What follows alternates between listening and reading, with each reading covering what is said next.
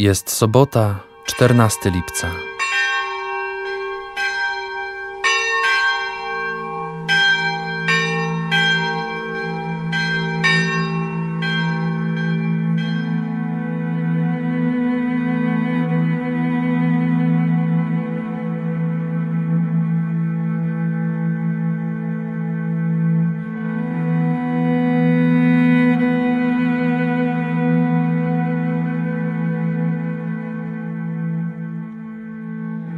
Czego najczęściej się boisz?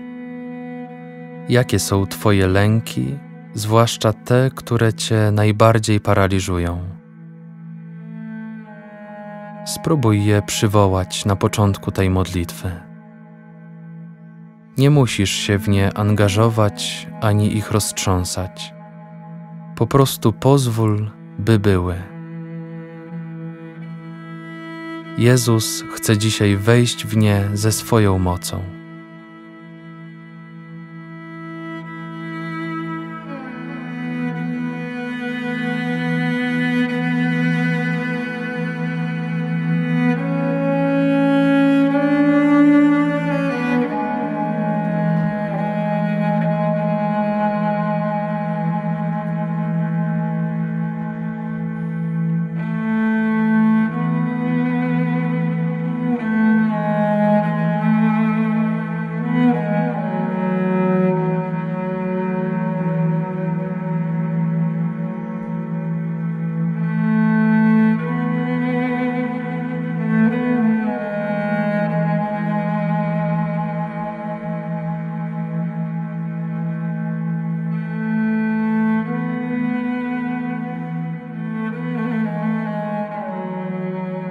Dzisiejsze słowo pochodzi z Ewangelii według świętego Mateusza.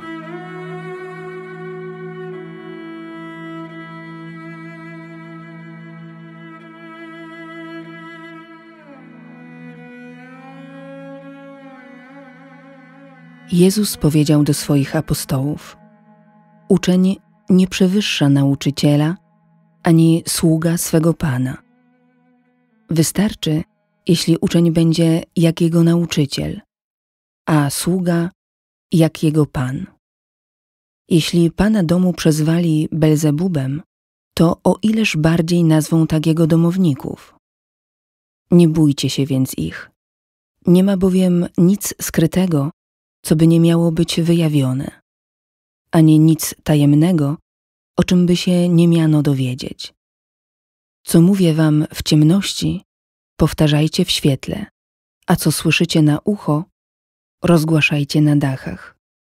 Nie bójcie się tych, którzy zabijają ciało, lecz duszy zabić nie mogą. Bójcie się raczej tego, który duszę i ciało może zatracić w piekle. Czyż nie sprzedają dwóch wróbli za asa? A przecież bez woli Ojca Waszego żaden z nich nie spadnie na ziemię. U was zaś policzone są nawet wszystkie włosy na głowie. Dlatego nie bójcie się. Jesteście ważniejsi niż wiele wróbli. Do każdego więc, kto się przyzna do mnie przed ludźmi, przyznam się i ja przed moim Ojcem, który jest w niebie. Lecz kto się mnie zaprze przed ludźmi, tego zaprę się i ja przed moim Ojcem, który jest w niebie.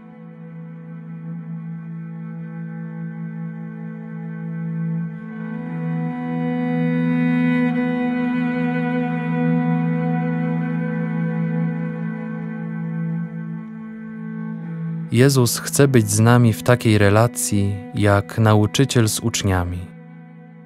Nie jesteśmy w stanie nauczyć się czegokolwiek od kogoś, kogo nie lubimy, kogo nie darzymy zaufaniem.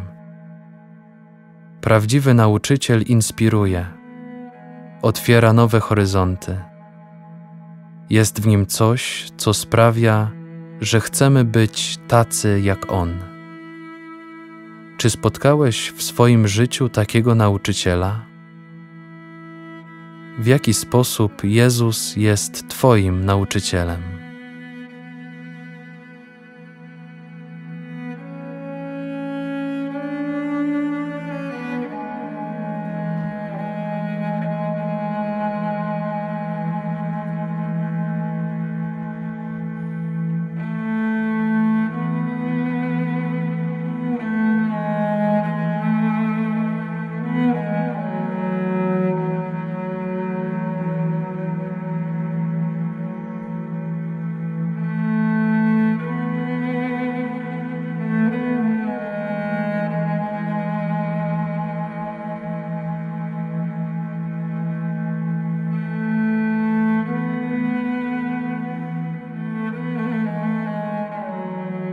Konsekwencją więzi, która łączy ucznia z nauczycielem, jest dzielenie nie tylko jego sławy, ale też jego odrzucenia.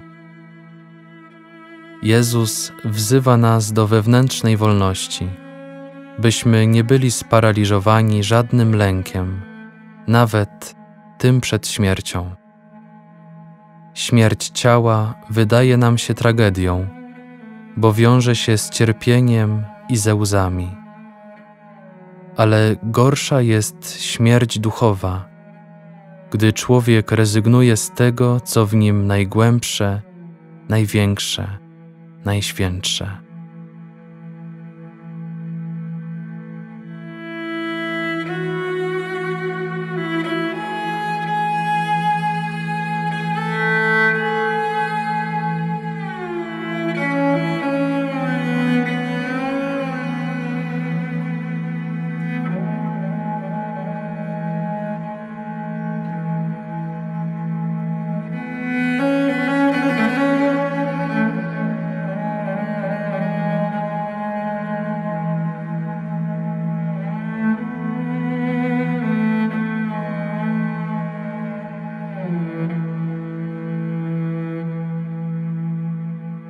Nie bój się.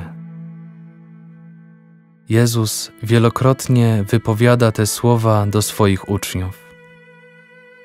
Niezależnie od tego, gdzie jesteś i co robisz, Ojciec nad Tobą czuwa. Troszczy się o Ciebie do tego stopnia, że nawet policzył włosy na Twojej głowie. Czy ten, który oddał za Ciebie życie, mógłby o Tobie zapomnieć? Czy mógłbyś być mu obojętny?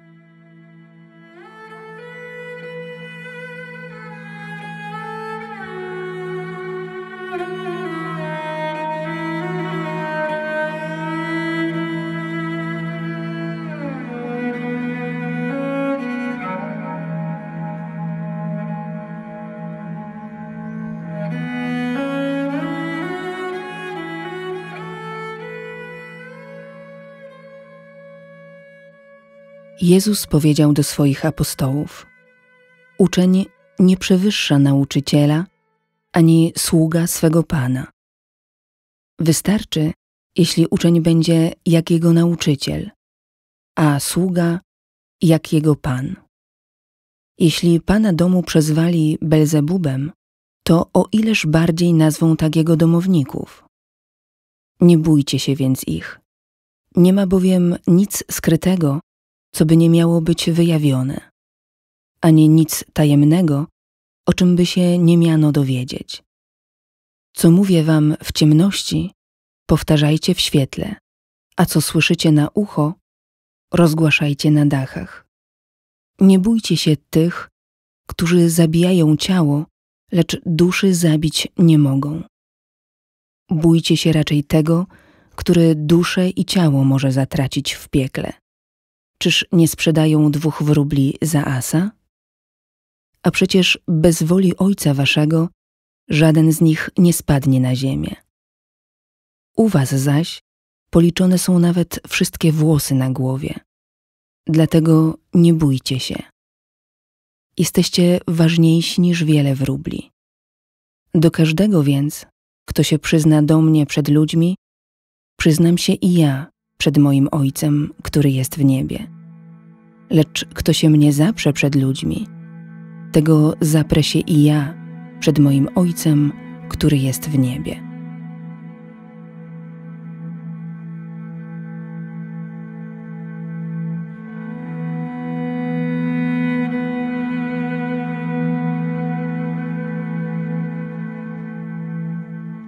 Poproś teraz Jezusa, by przyjął wszystkie Twoje lęki, obawy i strach.